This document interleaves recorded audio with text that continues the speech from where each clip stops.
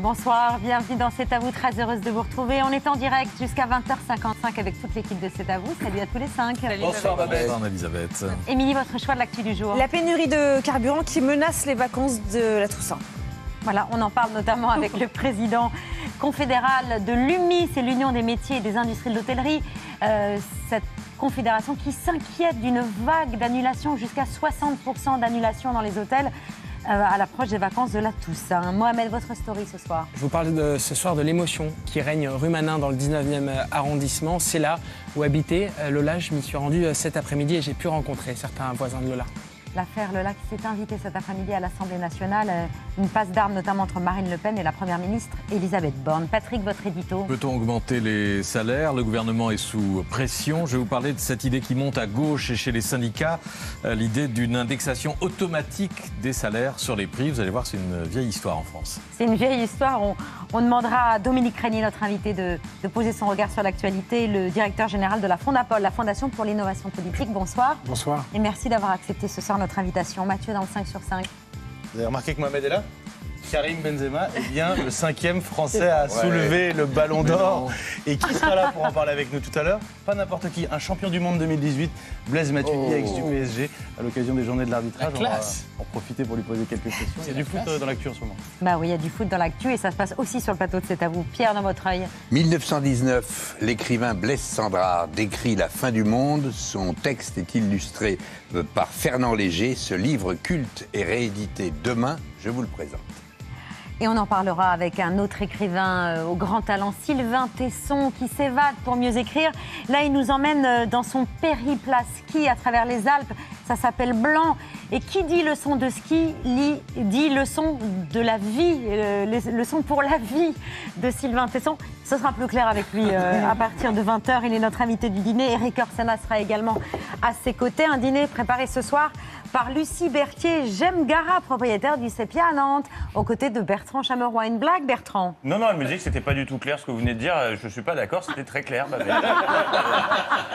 perdons pas une seconde de plus qu'allons-nous avoir l'honneur de déguster ce soir, chef. Ce soir, c'est filet de bœuf, donc de race nantaise, que j'ai ramené avec moi, avec euh, quelques petits piments. Voilà, que je vais préparer euh, voilà, de façon différente et du blé vert fumé également. Merci beaucoup. Bonne émission à toutes. Merci Bertrand.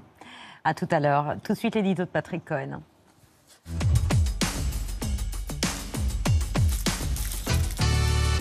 Patrick, que peut faire le gouvernement pour augmenter les salaires en période d'inflation? Ben D'abord, il peut ne pas s'en laver les mains en répétant, comme il y a encore 15 jours euh, au début de la grève dans les raffineries, que c'est une affaire privée que l'État n'a pas à s'en mêler. Certes, Emmanuel Macron et ses ministres peuvent euh, à bon droit rappeler qu'ils ont beaucoup fait pour limiter l'inflation, à 5,6% sur un an, c'est la plus basse d'Europe, et préserver le pouvoir d'achat à coup d'aide et de ristourne. Mais le salaire, c'est autre chose. Les primes s'envolent. Le chiffre en bas de la fiche de paie demeure. Et l'inflation, c'est l'impôt sur les pauvres. La formule est de François Mitterrand. Elle est toujours vraie, parce que les plus modestes consacrent une bonne part de leur budget à se nourrir, à se chauffer et à se transporter. Tout ce qui augmente moins on a de moyens et plus l'inflation les ampute. Le gouvernement a-t-il les moyens de décréter une hausse générale des salaires? Il peut seulement décréter une hausse du SMIC, mais c'est le seul salaire euh, déjà indexé sur l'inflation. Le SMIC a été relevé de 6% cette année et on sait par expérience que les augmentations du salaire minimum diffusent très faiblement vers les niveaux plus élevés. Le gouvernement peut aussi négocier des hausses généralisée avec euh, les partenaires sociaux, patronat et syndicats. C'est la conférence sur les salaires que propose à la fois la NUPES et le Rassemblement national. Y a-t-il des précédents? Il n'y en a pas beaucoup. Il y a surtout celui qui est resté dans notre euh, mémoire, dans notre imaginaire politique, les accords de, Grenelle à la, fin de, à la fin mai 68, qui avaient débouché pour le SMIC sur un gros rattrapage, plus 35%, et pour les salaires du privé sur une augmentation de 10%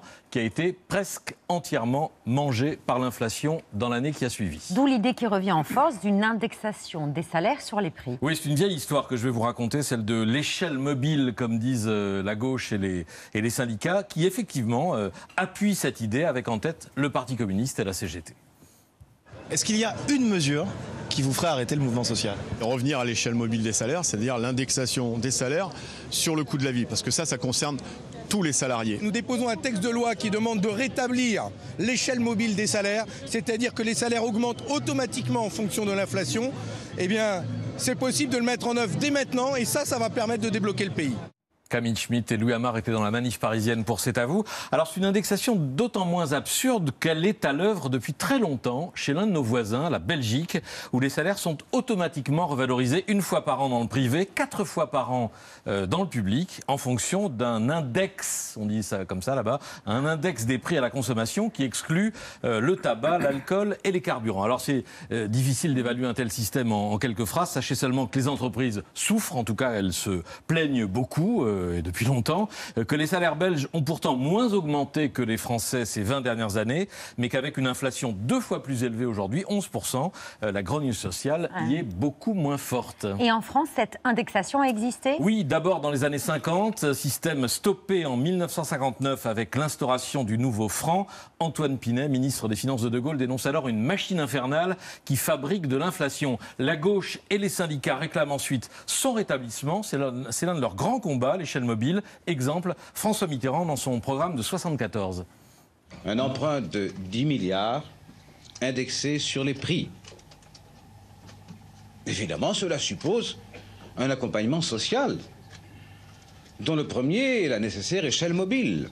La nécessaire échelle mobile. Cette pratique de l'échelle mobile va tout de même se, se répandre dans les années 70 dans le secteur public et chez une partie des salariés du privé dans certaines branches. Mais étrangement, c'est la gauche qui va y mettre fin. Exactement. Sous Mitterrand, en 1982, dans un contexte de crise et pour faire retomber une inflation à deux chiffres, c'est ce qu'on a appelé le tournant de la rigueur. Les prix et les salaires sont d'abord bloqués pendant cinq mois avant que le Premier ministre Pierre Mauroy ne donne les conditions du déblocage.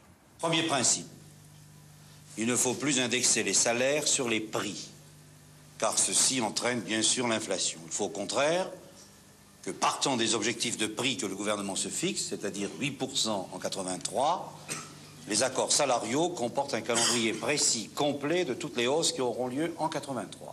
8% en 83, on était à plus de 10% euh, d'inflation à ce moment-là en 82. Bien sûr, vous avez entendu ce bien sûr, euh, l'indexation entraîne bien sûr l'inflation parce que, pensait-on, euh, et beaucoup d'économistes le pensent encore, lutter contre les effets de la hausse revient à amplifier cette hausse. C'est la fameuse spirale prix-salaire. Mais personne n'est revenu là-dessus depuis euh, 40 ans. Peut-être est-ce l'occasion de rouvrir le débat? Mais c'est précisément ce que veut éviter le gouvernement, de devoir organiser un débat, une grande conférence sociale sur cette question des salaires. Oui, c'est un, immense sujet, de toute façon, qui va être un, des moteurs euh, de la, la grogne sociale pour les années qui viennent, parce que l'inflation dont nous sommes victimes à nouveau était antérieure euh, à la crise euh, énergétique liée à l'invasion de l'Ukraine par la Russie. Mais il y a ce facteur en plus, et je vois mal comment on peut imaginer en sortir avant plusieurs années. La question, C'est-à-dire avant la prochaine présidentielle, ça ne sera ah, pas résolu. On sera dedans. On sera dedans. Donc on va avoir ce chaudron activé par les fagots de l'inflation et du pouvoir d'achat. Mais euh, une remarque sur euh, euh, ce que disait Patrick Cohen sur la, sur la question de l'échelle mobile. Elle a été pensée dans une époque où la croissance est forte. Là, nous avons aujourd'hui une croissance qui est négative. On se dirige vers une récession. La récession plus euh, la hausse des salaires, qui a cet effet inflationniste euh, qui est reconnu. Euh, je ne sais pas, vous interrogerez tout à l'heure le président euh, du syndicat de l'hôtellerie, mais pour les TPE, PME françaises qui font l'essentiel de l'emploi, moi je parie que ce n'est pas soutenable.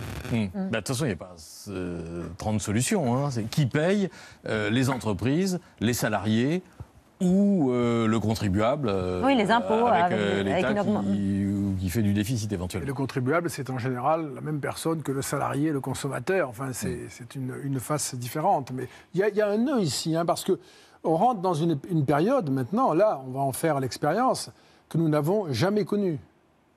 Et donc, il faut faire attention avec le, le- le- le rapatriement d'expériences passées euh, pour les appliquer à un aujourd'hui qui est inédit en réalité. hein. C'est-à-dire pour une durée longue, une hausse des prix très forte. Euh, je, pense qu'il n'y a pas de, solution heureuse à tout cela. On ne va pas trouver une solution qui va régler ces problèmes. On va trouver un compromis sur l'organisation de la patience, euh, la répartition des efforts, l'atténuation des réactions, mais il n'y aura pas de remède à cela. Ça paraît impossible. Ouais, mais le compromis, c'est pas très français, Dominique. Pas très français. Et la question, on le voit autour du débat parlementaire aujourd'hui. La culture du compromis ne naît pas comme ça. C'est pas parce qu'on a une majorité relative dont on s'est réjoui parce que ça fabrique du consensus qu'on a à la fin du consensus ou du compromis. Mais juste pour revenir sur le débat sur euh, l'indexation des salaires, c'est forcément de l'inflation, quelque chose qui a été justement euh, euh, considéré comme acquis, comme, comme axiome depuis 40 ans. Est-ce qu'il ne serait pas temps de le soumettre à questionnement? Il me semble que l'idée s'impose par son, sa valeur elle-même, mais euh, la question dans le domaine de l'économie, c'est la faisabilité dans le monde réel. Qu'est-ce qui se passe si on, réintroduit cette indexation? Euh, Est-ce que les entreprises, les entreprises, elles vont évi- évidemment répercuter sur le consommateur. Les petites TPE, PME, elles vous le diraient, ne feront pas passer la hausse des prix chez le distributeur qui va lui dire vous vous débrouillez, moi les consommateurs ils n'en veulent pas de vos prix, donc faites, prenez-vous la marge. C'est pas possible en réalité. Sur beaucoup de produits aujourd'hui, euh, vous avez une hausse qui est spectaculaire. Je prends un exemple parce qu'on n'y pense pas toujours, mais euh, si vous faites des plats cuisinés sous verre, vous n'avez pas que la hausse de l'énergie, vous avez la hausse du verre que vous achetez. Plus 16%, plus 16%, plus 40% maintenant, en trois hausses sur quelques mois. Vous vous, retournez vers euh, le grand distributeur Carrefour, voilà, c'est ma hausse, on la partage. Il vous dit non, hein, vous vous débrouillez. C'est votre problème. Moi, je veux le produit au même prix. Et donc, euh, vous n'avez plus de possibilité euh, de faire des, marges qui sont très modestes dans le, monde de la petite et moyenne entreprise. Il y a un- une vraie impasse. hein. Historiquement, je, trouve que nous entrons dans un moment euh, très compliqué. Et la France, plus que d'autres, en raison des efforts considérables qui ont été faits sous euh, le régime de la, pandémie et du Covid. Donc, on a consommé beaucoup de ressources qui ne sont plus disponibles. Mhm. Les Français étaient appelés aujourd'hui à se mettre en grève sur cette question des salaires et du, respect du droit de grève. 107 000 participants partout en France, 13 000 à Paris, selon les chiffres du ministère de l'Intérieur. Camille Schmitt et Louis Amar étaient donc ce matin auprès des usagers des transports et cet après-midi au cœur de la manifestation à Paris. D'habitude, je crois, mais euh, j'attends juste une minute ou deux minutes. Mais là, quand je suis arrivée, c'était 15 minutes. J'ai quoi, 8 heures. Mais là, euh, c'est mort. Comme c'est prévu, euh, ça nous choque pas trop, quoi. Je trouve que c'est le seul moyen de faire entendre notre voix et, et je prends mon, pal- mon mal en patience en fait.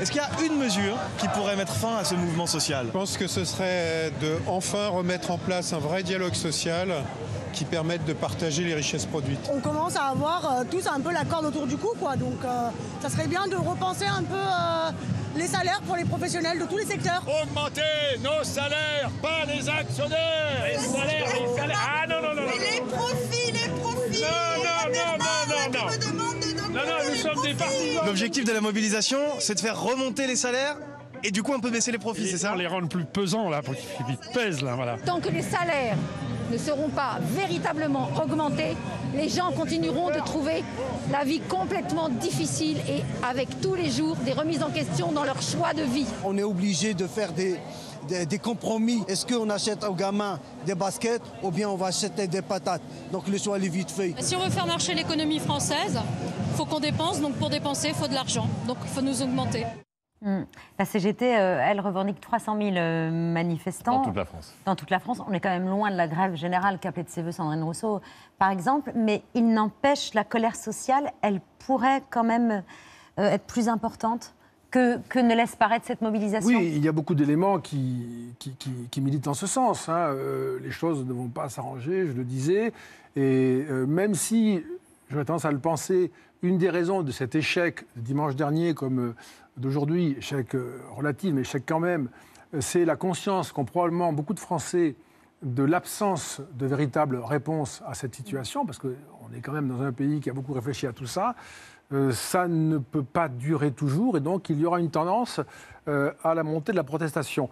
Dans un pays, il faut le rappeler, qui lors des dernières élections de 2022 a battu tous les records de protestation électorale, que ce soit l'abstention ou le vote anti-système. On n'a jamais vu cela en France depuis que la République existe. Donc on a deux dimensions. La dimension sociale, qui est très faible en réalité, compte tenu du contexte qui était pourtant très favorable. Et puis on a la dimension électorale, politique, qui est sourde, euh, silencieuse, qui est tectonique, je dirais, et qui est très puissante, qui concernait 77% des électeurs législatifs. hein. Ce qui aboutirait à quoi, en fait? Qu'est-ce que vous êtes en train de dessiner comme euh, paysage politique pour les années à venir? Les partis de gouvernement modérés traditionnels représentent euh, au premier tour de la présidentielle moins de 25% des électeurs. Les trois, Emmanuel Macron, Valérie Pécresse, euh, Anne Hidalgo, moins de 25% des électeurs ont voté pour l'un de ces trois candidats. Euh, donc on a un, épuisement, une disparition des partis modérés et au contraire des partis anti-système qui sont de plus en plus puissants, portés. Ils n'ont pas de solution, ils n'ont pas d'idées sur ce qu'il faudrait faire, ils ont des mots, des discours. Euh, mais euh, par un effet de balancier, puisqu'il y avait tout à l'heure l'image de la balance et du contrepoids, ils deviennent de plus en plus saillants. Et dans un pays, moi je crois, à droite, euh, massivement, et euh, de plus en plus droitisé, dont, la droite se droitise. Ça, ça- ça- ça fait, ça fait direction, si je puis dire, vers le, le RN et Marine Le Pen, tout ça. Mm. C'est- oui, voilà. C'est un peu ce qui, ce qui se... De toute façon, euh, il y a 20 ans, euh, au second tour, le père Le Pen faisait 20%. euh, sa fille, en 2022, fait 42% pour aller vite. La progression est suffisamment claire pour, voir que nous sommes dans une espèce de, de, train. S'il y avait des forces euh, nouvelles, émergentes, euh, dans l'ordre euh, du gouvernement modéré et raisonnable, ce serait une nouvelle très importante. Mais aujourd'hui, on a le sentiment que toutes les forces modérées, toutes les forces de gouvernement, à droite ou à gauche, sont encalminées, en difficulté. Et même le macronisme, désormais, on l'a vu aux législatives et on va le voir évidemment beaucoup plus en cours encore dans les semaines qui C'est pourtant tout ce que veut éviter Emmanuel Macron, d'être ce président qui amènerait vers le Rassemblement national. Oui, on peut imaginer que la scène serait extrêmement euh, pénible euh, et, et- et difficile à porter, euh, que cette remise du pouvoir à Marine Le Pen. Mais lui-même ne sera pas candidat, on le sait, et il faut trouver des figures qui n'ont pas été usées par euh, le pouvoir. Moi, je suis frappé par ça. Emmanuel Macron a été élu en 2017, de mon point de vue, parce qu'il était hors système. Ça peut paraître un peu paradoxal, mais il n'avait pas l'image d'un candidat usé, euh, déjà présent, etc. Hors système, anti-système. C'était la finale de 2017. Euh, en 2027, si on imagine se projeter à ce moment-là, ce qui me paraît déjà très, euh, voilà, très risqué en quelque sorte, eh bien, nous aurons toujours ces candidats anti-système. Quel candidat du système ensuite va se présenter? Aura-t-il la force, les idées, l'énergie Euh, Suscitera-t-il euh, euh, la crédibilité ce, sera, très difficile. hein. La problématique là à court terme, c'est les carburants. Ça fait près de trois semaines que le conflit a débuté dans les raffineries, dans les dépôts. Les Français continuent encore de chercher de l'essence, alors que le gouvernement n'arrête pas de leur promettre l'arrêt de cette crise dans les jours qui viennent. Elisabeth Borne, la première ministre, a annoncé faire appel au préfet cet après-midi à l'Assemblée nationale. Il n'est pas acceptable qu'une minorité continue à bloquer le pays. Et il est temps que le travail reprenne. C'est pourquoi, en responsabilité, j'ai demandé au préfet de réquisitionner les salariés nécessaires au fonctionnement de certains dépôts. Les services de l'État seront mobilisés jusqu'à un retour à une situation normale. Donc une nouvelle annonce pour euh, dire que euh, ça va s'arrêter. Emmanuel Macron a lui-même dit hier il faut que ça se règle le plus vite possible, mais sans beaucoup d'effet. Est-ce qu'il ne risque pas, euh, à force de se décrédibiliser?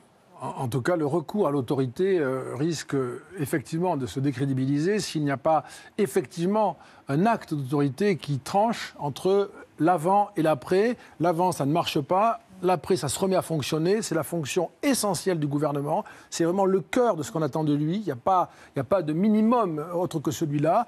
Euh, et on peut considérer, moi c'est mon sentiment, qu'ils ont beaucoup tardé euh, à s'en occuper, à prendre ce problème à bras-le-corps, alors que euh, dans un pays comme la France, dans beaucoup de pays, mais dans un pays comme la France, l'automobile est au cœur de nos vies. 75% euh, des salariés, des actifs, hein, euh, qui vont de leur domicile au travail le font avec une voiture. hein. Euh, 75%, les trois quarts. Et, et c'est sans doute euh, plus fort encore dans des régions qui sont euh, moins équipées en, en- en- en- en infrastructure collective.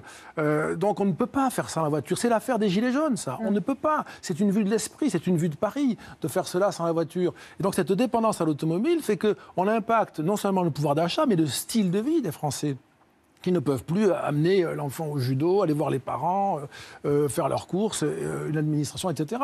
Donc c'est le cœur de tout cela. Et moi je trouve qu'il y a toujours cette espèce de lenteur parisienne. Euh, C'est- comme ça que vous expliquez ah le ah retard oui. à l'allumage. Ah oui, moi, je suis- C'est vu de Il Paris. y avait aussi une prudence à l'égard des, des grévistes et d'un mouvement Oui, mais social quand même. Patrick Cohen, c'est pas c'est pas dans l'ordre des choses ça. C'est pas on ne Ah peut bon pas. Non non, la prudence est nécessaire, mais on ne peut pas mettre autant de temps à comprendre que le pays. Non, non, mais je parle des réquisitions. Oui, bien sûr, mais que le pays euh, ne peut pas admettre euh, se retrouver dans de telles difficultés euh, parce qu'on n'ose pas utiliser euh, l'outil. de- Avant même de demander les négociations, euh, de Les se mettre autour d'une table, c'est ça les qui ont contestable. été prises juste après le, le premier Mais- accord chez Esso Oui. et ensuite le deuxième accord chez Total des entraîné d'autres conditions très minimales. Le mot est prononcé, mais euh, C'est la chose est. On a réquisitionné quatre salariés, ça a permis de débloquer des dizaines Oui. de milliers de litres de carburant, ce qui prouve que.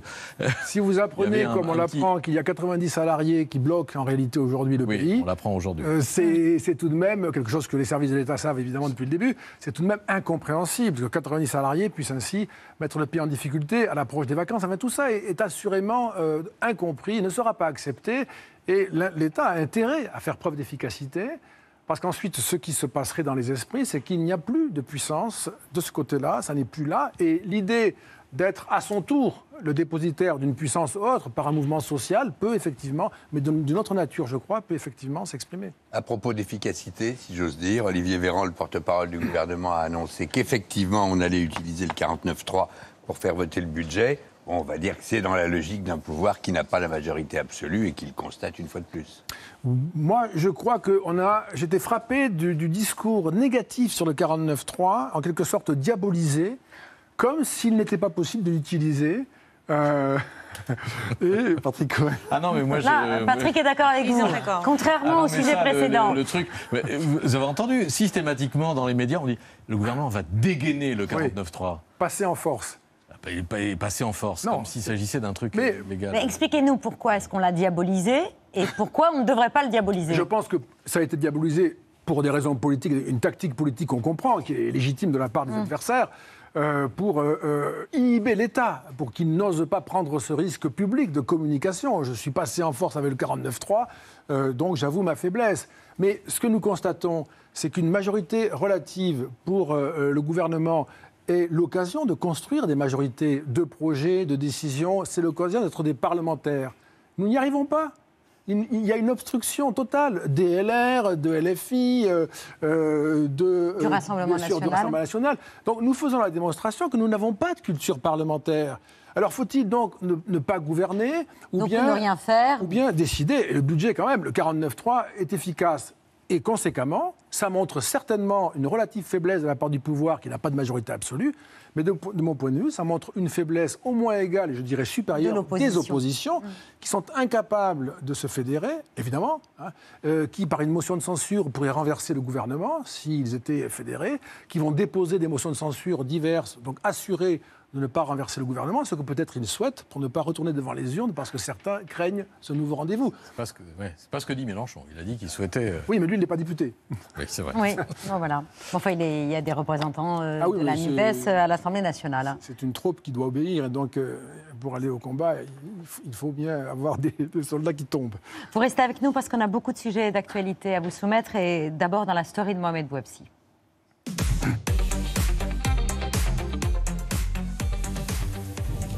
Mohamed, vous vous êtes rendu dans le 19e arrondissement de Paris, là où Lola, euh, cette, jeune femme cette jeune fille assassinée vendredi, vivait et où l'émotion est toujours palpable. Oui, les résidents, de cet immeuble euh, doivent désormais se faufiler entre les Français venus rendre hommage à Lola et les monticules de bouquets de fleurs. Cet après-midi, les policiers euh, continuaient de mener l'enquête au sein de la résidence. Ce qui est le plus impressionnant, c'est la tristesse visible sur tous les visages des centaines de personnes venues parfois de Marseille ou de Nantes se relayer pour poser une rose, un mot dont Mathilde qui ressentait le besoin de venir se recueillir.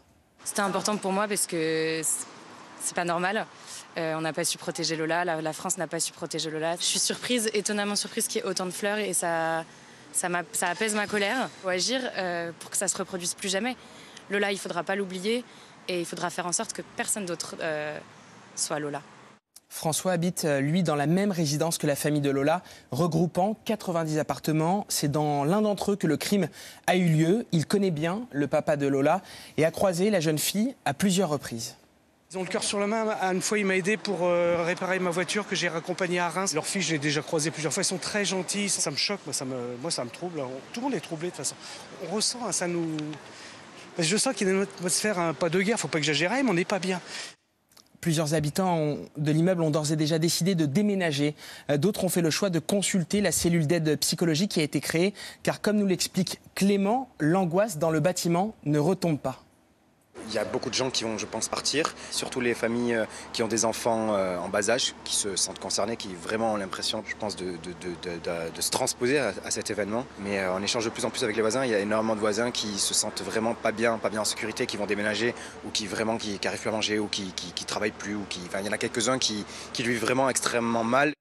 Juste derrière l'entrée de ce, ce bâtiment, la rue d'Haute-Poule, c'est une autre entrée. C'est là où a été retrouvé euh, le corps euh, de Lola après cette, ce violent assassinat de la part de, de- de cette femme qui est aujourd'hui euh, en prison. Nous nous sommes rendus au collège de Lola, le collège Georges Brassens, situé à une minute. Une minute de marche de là. En face de l'établissement se trouve euh, un commissariat, mais ça ne suffit pas à rassurer les parents d'élèves nombreux à venir depuis hier euh, accompagner leurs enfants âgés de 12 à 14 ans. L'une des mamans m'a expliqué que sa fille ne voulait plus sortir seule de la maison. Les surveillants du collège semblent épuisés. Une minute de silence a été tenue et la professeure d'histoire du collège a longuement échangé avec les élèves.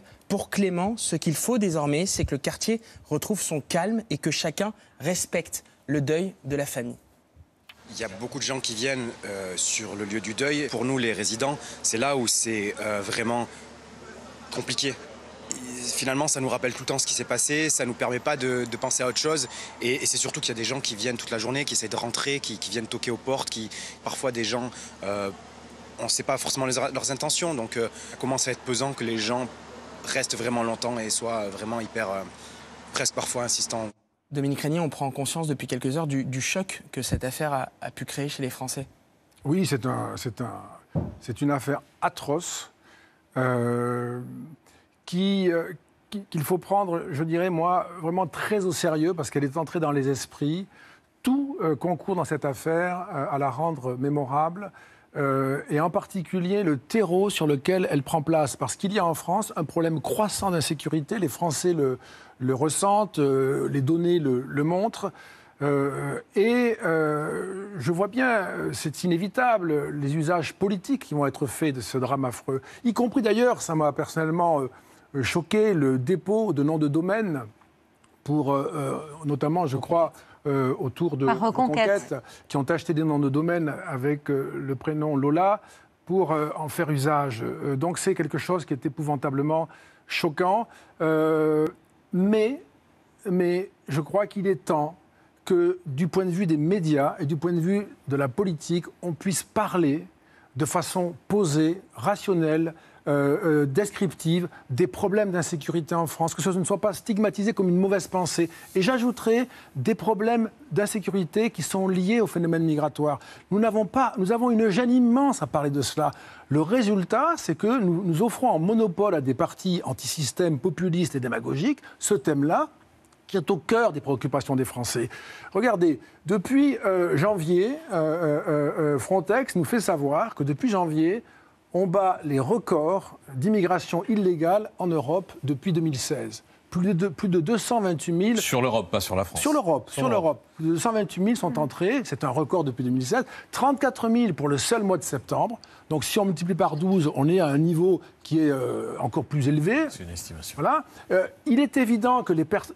Moi, je ne comprends pas. Quand on, quand on fait des sciences sociales, euh, on sait euh, qu'il y a des problèmes euh, inévitables de compréhension, d'intégration. Je ne parle pas de ce cas-là, qui est un cas tellement atroce et particulier qui relève sans doute d'autres logiques que j'ignore. Mais nous allons être confrontés à de plus en plus de malentendus, de conflits. Euh, c'est évident, il n'y a pas de- il n'y a pas de- d'autre issue que celle-là. Et donc nous devons réguler, nous devons intégrer, nous devons euh, euh, agir euh, de manière très efficace, ce que nous n'avons jamais fait. C'est compliqué de le faire. Dominique, il faut en parler au juste niveau aussi. Vous dites c'est au cœur des préoccupations des Français. Moi, j'ai vu il y a dix jours, vous l'avez vu comme moi, l'enquête Fracture française, Mm. réalisée par Ipsos, grande enquête, 12 000 interviewés pour la Fondation Jean Jaurès et, et le CEVIPOF. L'insécurité est au septième ou au huitième niveau des préoccupations des Français. Pas au cœur des préoccupations. Cohen- C'est le, le pouvoir d'achat et les préoccupations économiques et sociales sont loin, loin devant. Donc Cohen- je sais bien qu'il y a un écosystème médiatique, deux chaînes d'information qui euh, mettent ça, qui font que c'est le sujet unique, le plat unique tous les jours, et qui créent un climat euh, là-dessus. Il y a un fait divers, il y a un drame épouvantable, etc. Mais ne laissons pas croire que c'est l'obsession des Français aujourd'hui. ça, ça, je pense que ce que vous dites dites là, c'est l'erreur d'interprétation et de, et, de, et de, représentation de ce problème-là, qui est une. Vous, vous, citez un sondage, mais je vais vous citer des élections. Euh, si le pouvoir d'achat est le problème des Français, la gauche doit être en tête. On trouve le RN et Marine Le Pen. Euh, tout montre que c'est cela qui se passe. Les sondages ont de l'intérêt, j'en utilise moi-même. Beaucoup. Beaucoup. Mais regardez les résultats électoraux.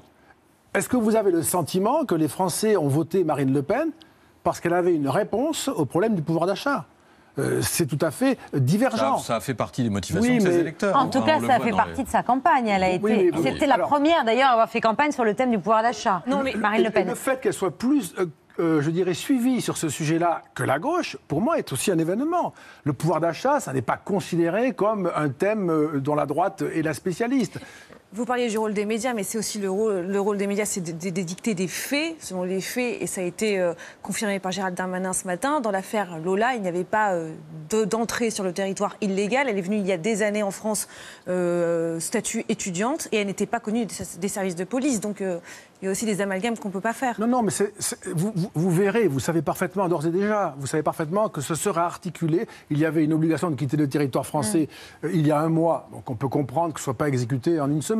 Mais vous, verrez que ceci sera compris comme une illustration supplémentaire d'une absence de volonté, et même, moi j'insiste là-dessus, euh, d'une stigmatisation de cette problématique en termes de, de débat public et d'une sorte de monopole offert aux partis antisystème.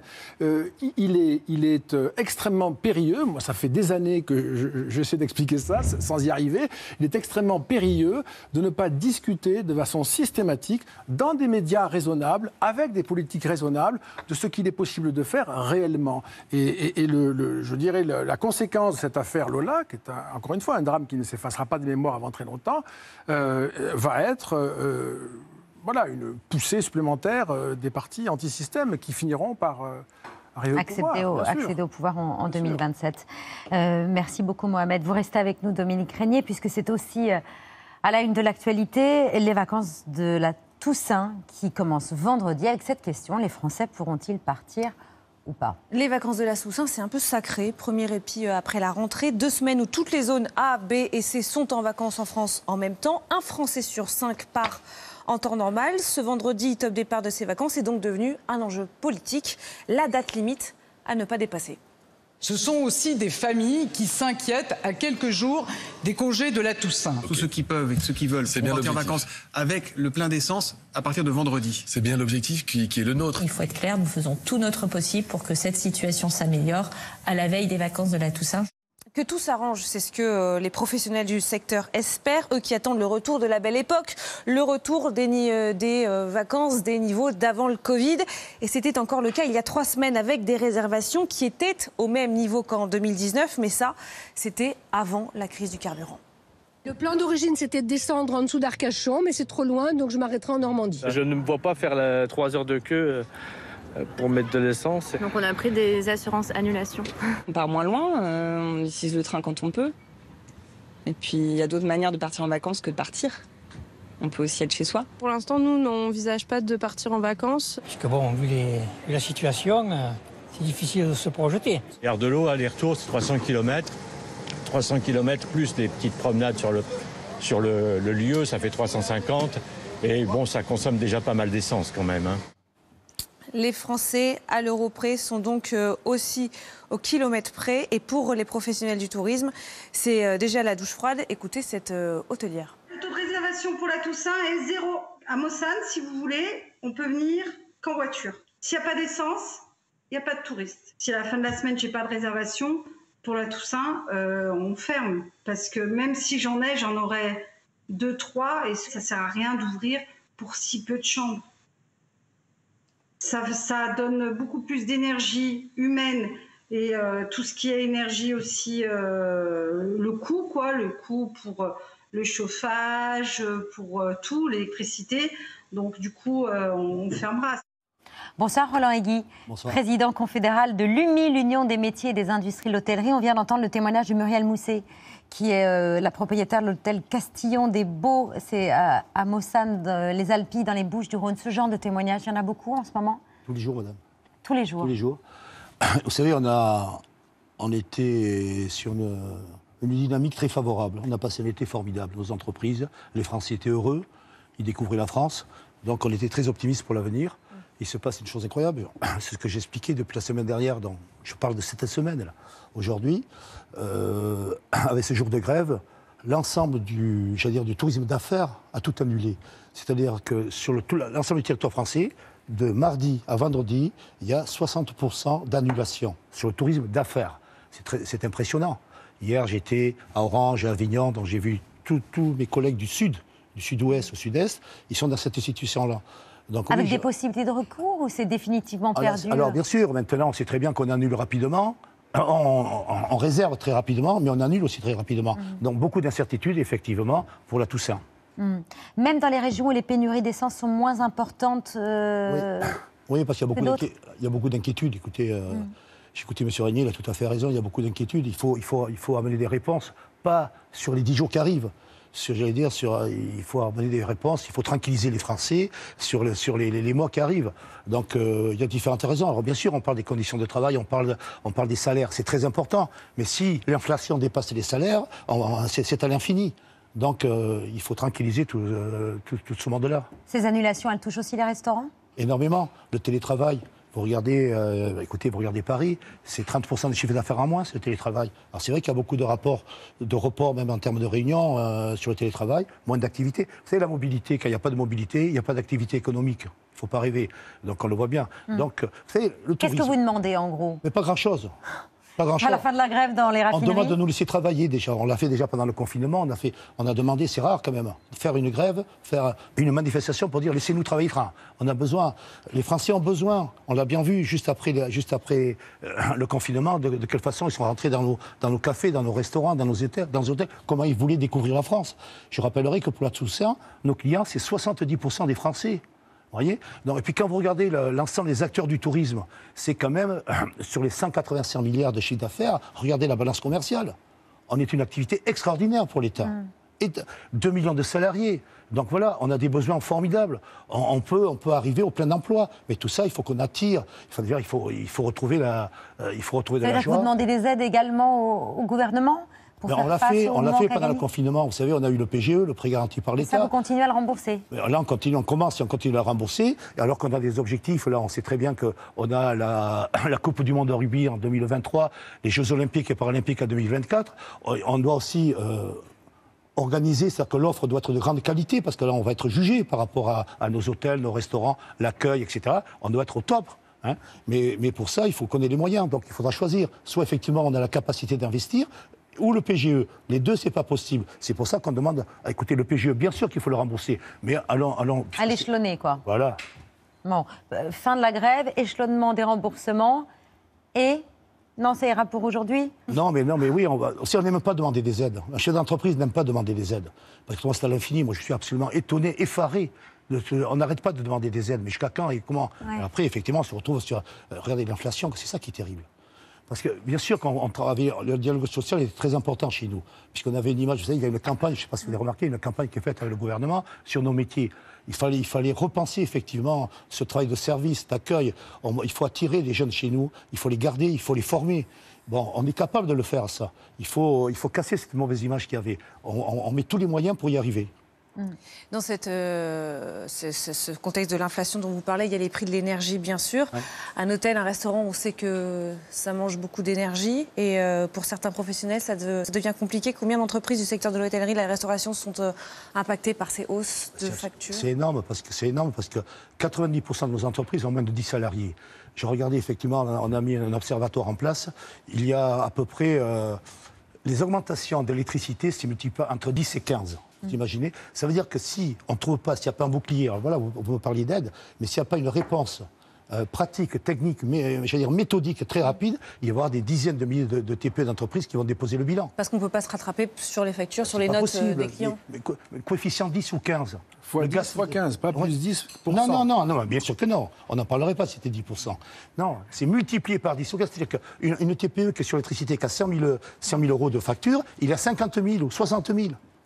Du jour au lendemain, mais c'est, attendez, mais c'est plus déraisonnable. C'est...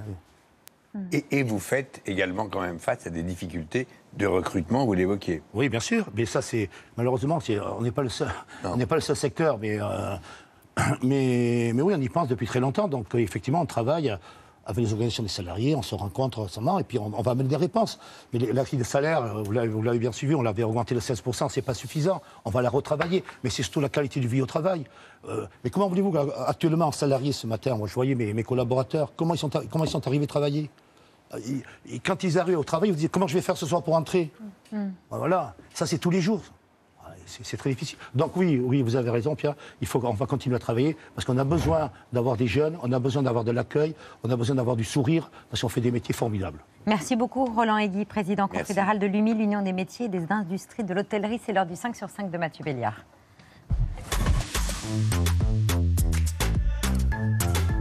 Bonsoir Babette, bonsoir à toutes et à tous. Mathieu. Mathieu, fin de suspense. C'est bien Karim Benzema, le Ballon d'Or 2022. Ah, c'est le cinquième euh, lauréat français. Et qui lui a remis le trophée? Bah, Pas n'importe qui, le quatrième. Bon, ben, le vainqueur du Ballon d'Or 2022, et je suis ravi de, de cette récompense, c'est pour toi Karim Benzema.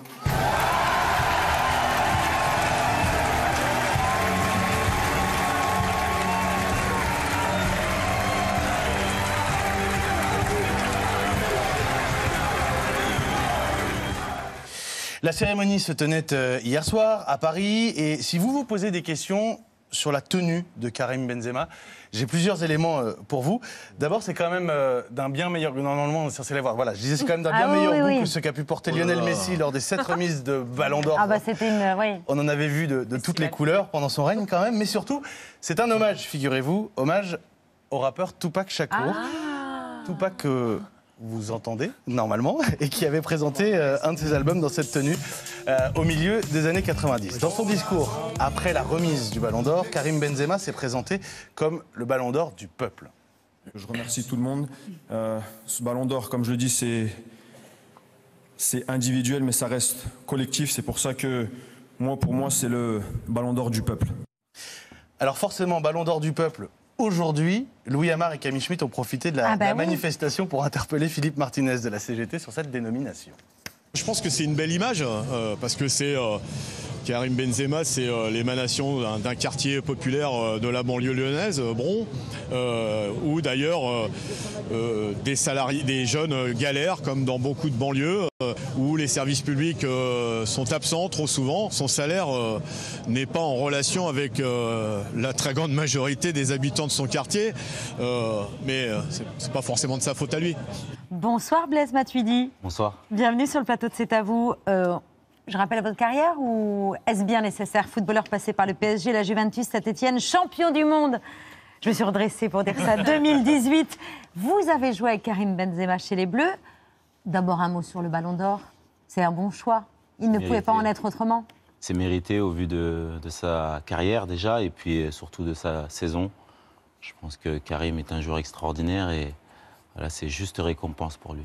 Ballon d'Or pour le peuple, ça inspire. euh, Oui, c'est vrai, il a, il a raison. Je pense qu'il a vécu des, des moments difficiles tout au long de sa carrière, mais euh, je pense que c'est quelqu'un qui, voilà, qui pense euh, à, l'équipe de France et il a à cœur justement de faire de très bonnes choses lors de la prochaine compétition et, et je pense que ce, ce petit clin d'œil, il est, il est assez sympa. Il y a aussi ces, ces félicitations, celle de Zinedine Zidane, on, on l'a vu lui, lui remettre. Je t'ai vu beaucoup travailler pour que ton jeu progresse, que tu deviennes qui tu es, tu as toujours cherché à t'améliorer. Aujourd'hui, ce trophée récompense ce travail et cette année exceptionnelle. C'est c'est pas rien, mine de rien, Zidane. Est-ce que Benzema fait partie de ces légendes désormais? Papin, Platini, Zidane? Oui, clairement, il fait C'est partie une de légende ces- française. Il fait partie de ces légendes françaises, mais même, euh, même mondiales, on va dire. Euh, il est quand même resté euh, plus de 10 ans au Real Madrid. Euh, et c'est pas facile de jouer au Real Madrid. euh, donc, euh, ouais, ça a été. euh, il a effectué une grande carrière et elle n'est pas finie, parce Ouais. y a encore de belles choses qui vont arriver devant lui. Exactement. Le prochain ballon d'or c'est français, c'est Kylian Mbappé, vous le connaissez? Oui, euh, il a le, le potentiel, il a le talent et c'est c'est un joueur extraordinaire. Et je pense que il va bien évidemment lui aussi avoir la chance euh, et le bonheur, parce qu'il a le talent, de, de remporter cette un jour. compétition. Il a 10 ans devant lui avant d'atteindre l'âge de, de Ah oui, c'est Benzema. que ça, ça- ça- oui, il a Attention, le temps d'en que soulever c'est un paquet de ballons d'or. Aussi. donc, euh, attention aux blagues sur l'âge. C'est tellement moins que nous ici autour de cette table que tout va bien. Alors vous avez accepté notre invitation ce soir aussi à l'occasion des Journées nationales de, de l'arbitrage dont vous êtes le parrain Blaise. Euh, Aujourd'hui l'enjeu c'est de susciter des, des vocations chez les jeunes. On, on manque d'arbitres. On manque clairement d'arbitres et euh, c'est vrai qu'aujourd'hui j'ai eu la chance euh, de passer la journée euh, organisée par la Poste auprès des arbitres, de prendre la casquette de l'arbitre et c'est vrai que c'est c'est un rôle qui est difficile. Moi j'ai j'ai éprouvé beaucoup de difficultés hein, à, arbitrer et on se rend compte que même auprès des jeunes, c'est un rôle qui est, en question. qui est difficile, l'autorité est mise en, en question, le- la prise de décision est, est assez euh, difficile et on se dit que peut-être par moment on n'a pas forcément raison, mais il faut agir vite. Alors imaginez-vous devant euh, 50 000 euh, spectateurs. Avec euh, des enjeux hostiles. considérables. Voilà, mais je pense que c'est euh, en tant que sportif de haut niveau, euh, on se doit d'être des exemples euh, pour le monde professionnel, mais aussi pour le football amateur. C'est-à-dire respecter, quoi qu'il arrive, la décision de l'arbitre, ne pas la contester? Exactement, ne pas la contester. L'arbitre est le maître du jeu et sans lui, euh, on n'aura- on n'aurait pas de football.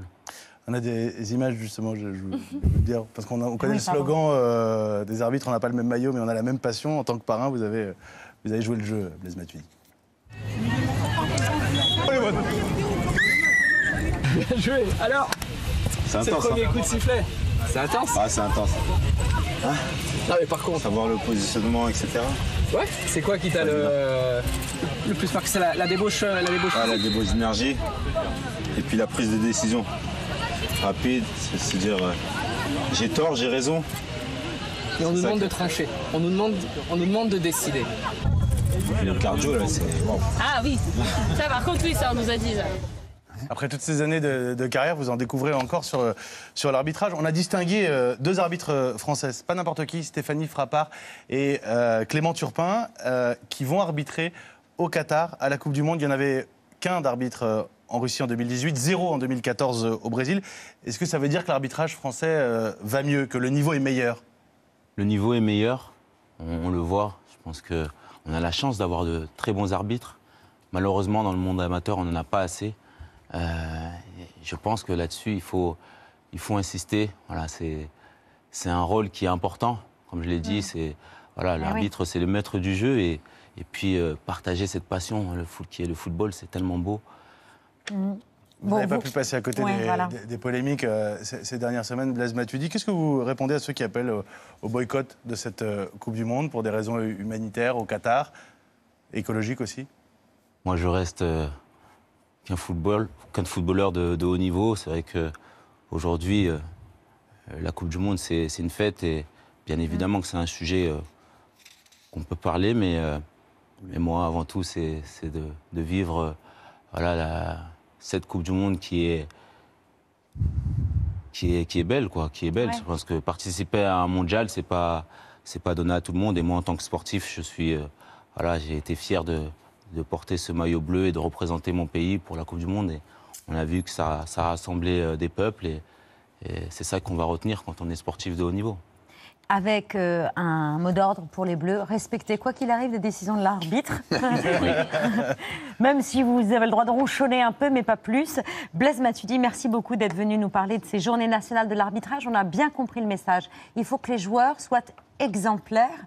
Euh, C'est très important Et sur le terrain aussi, et en euh, dehors du terrain. et les parents. aussi sur les matchs amateurs. Exactement. C'est important. Voilà.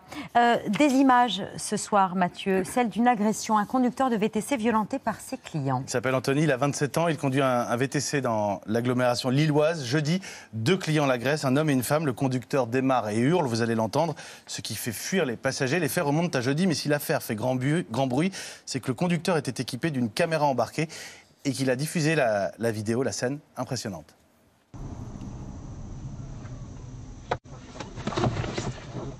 Allez, descendez. Descendez.